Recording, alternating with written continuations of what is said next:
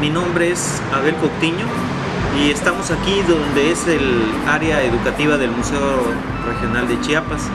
Y bueno, el día de hoy vamos a, enseñarle los pasos a seguir para obtener estos productos, estas máscaras.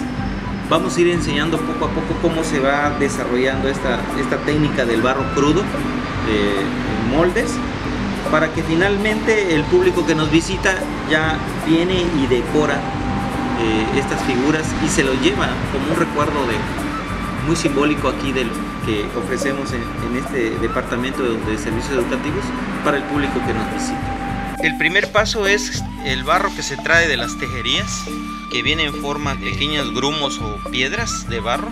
Se comienza a colar en un cernidor. El cernidor tiene que ser delgado también para que quite impurezas y nos permite al momento de colocarle el agua para hacer ya la plastilina de barro ya este, tenga más maleabilidad, se pueda trabajar más de una manera como una plastilina, vaya, ¿no?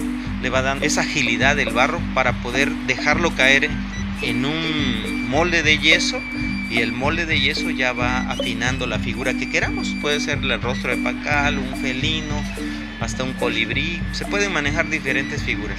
Eh, el barro tenía una función desde para almacenar en forma de vasijas o platos, almacenar semillas, este, eh, maíz o maíz, este, ellos guardaban o almacenaban eh, maíz para fermentar también alguna bebida alcohólica o algo así, para rituales ceremoniales. El barro también tenía una función en cuanto a, a que pudo, haber sido medicinal. Una persona con fiebre, si se le pone en la planta de los pies, le beneficia, ¿no? le baja el calor del cuerpo. Museo Regional de Chiapas.